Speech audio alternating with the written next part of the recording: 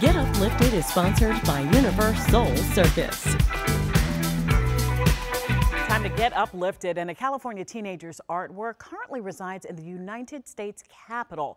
17-year-old Danella Vigil recently won the Congressional Art Competition. She created a painting called In Youth We Trust. It depicts a Latina teenager wearing a veil and cradling a teddy bear. She created the winning painting while using supplies that she brought from the dollar store. Danella says her inspiration for the painting, which is beautiful, was from her own life and the pressure to grow up too fast.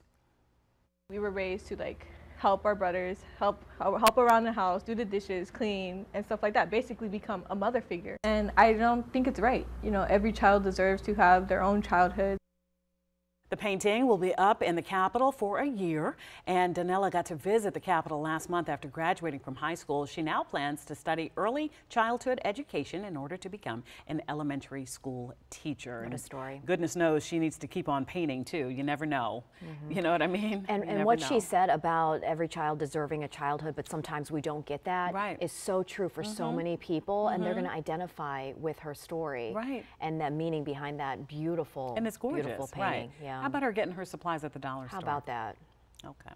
Um, you keep on soaring and good luck to you, Miss Danella. And I want to share things that uplift you too. You can email us at getuplifted at WUSA9.com. Reach out to me on Twitter, Instagram, or on our Get Up DC social pages and join the conversation. Use the hashtag GetUpDC.